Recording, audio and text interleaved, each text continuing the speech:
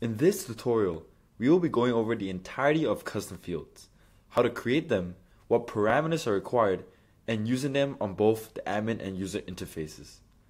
By the end of this video, you will be able to declare custom fields, call and get information on specific custom fields, and allocate them to specific users.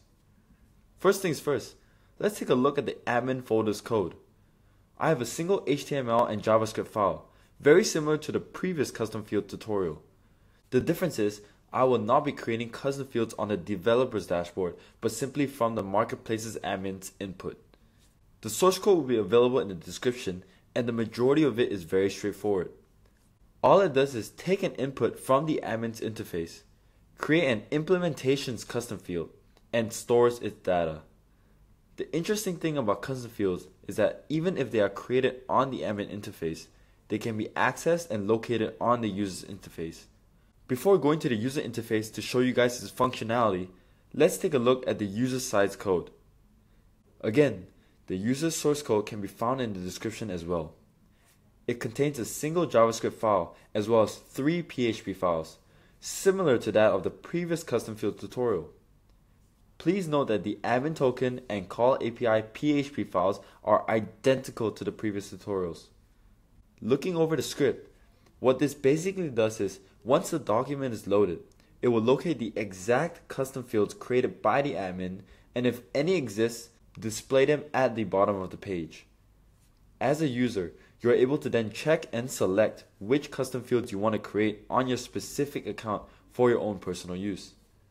How it does so is the custom field PHP file creates user custom fields rather than implementation custom fields after obtaining both the admin ID and admin token.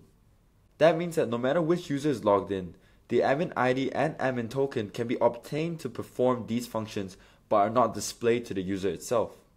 Although every custom field must be initialized with a value, this plugin does absolutely nothing with those values. That is where the flexibility and functionality of custom fields come in. As a developer, you are able to manipulate and implement various data based on whatever intention you seek. Custom fields are very dynamic in their nature, so their functions and implementations are limitless.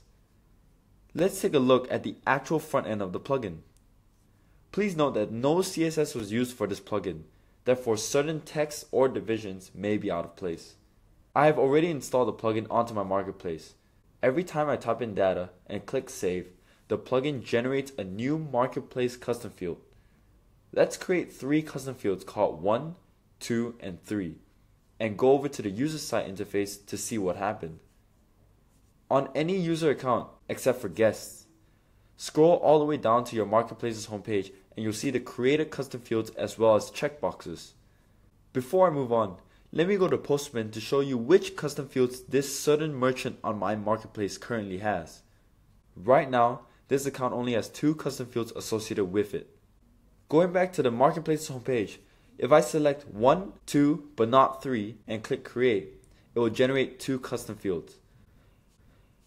Note that if I were to reselect already created custom fields, nothing would happen.